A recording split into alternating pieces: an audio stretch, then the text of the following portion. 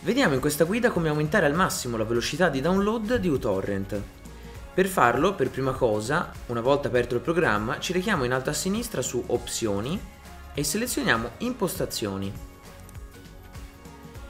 Ci rechiamo quindi in Connessione ed andiamo a inserire in porta usata per la connessione in entrata la 46852 che è una porta di default che viene utilizzata da uTorrent e diciamo quella che preferisce. Una volta fatto questo, clicchiamo su Applica e OK. Andiamo quindi attraverso il nostro browser o attraverso Simple Port Forwarding ad aprire le porte del nostro router. Ho già realizzato una guida al riguardo, quindi vi consiglio di mettere in pausa momentaneamente il video, andare a vedere i tutorial, il link ovviamente lo trovate in descrizione, per procedere così con l'apertura delle porte.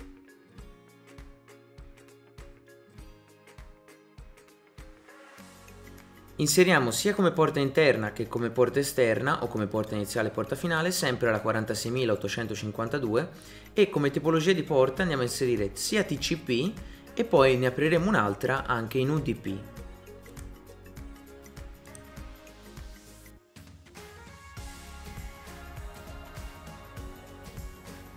Una volta che avremo aperto entrambe le porte, mettiamo da parte e torniamo nuovamente all'interno di uTorrent. A questo punto clicchiamo su Opzioni dal menu in alto a sinistra e selezioniamo Configurazione guidata. Nel primo caso ci aiuterà a settare le impostazioni migliori per ottenere la banda di download più alta e nel secondo, se lasciamo la spunta, controllerà che la porta sia correttamente aperta. Se ne siete già certi potete togliere la spunta così da impiegare meno tempo per effettuare il test. In banda selezioniamo Milano Italia o la città più vicina che troviamo a dove abitiamo, nel caso lo dovesse raggiungere, e clicchiamo su Inizia i test. Una volta completato il test dovrebbe aprirci una spunta verde accanto a banda e una spunta verde accanto a rete. In questo caso vorrà dire che tutto è stato configurato correttamente. Nel caso della rete, se doveste visualizzare una spunta gialla o una spunta rossa, significa che avete aperto eh, non correttamente la porta e quindi dovrete tornare a settare in maniera più corretta appunto i settaggi della porta. Bene, una volta quindi completato, clicchiamo su salva e chiudi.